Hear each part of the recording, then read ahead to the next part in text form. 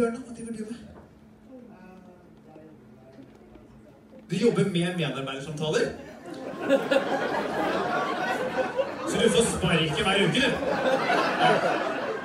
Du jobber med å sparke folk, du? Nå kan du bø. Nå, ja. Så han har organisasjonspsykologi, og du jobber allerede med å bare ha medarbeidersamtaler? Dæven, dette er hyggelig for dere å bli snakka til noen gang, da. Ja hyggelig forrige medarbeider som fant hadde. Jeg håper du har mange medarbeidere. Sikkert han blir litt klein på kontoret. Hvis du har én kollega Hva jobber din? Jeg snakker med han fyren der. Vernepleier heter det. Det er en helt annen ting.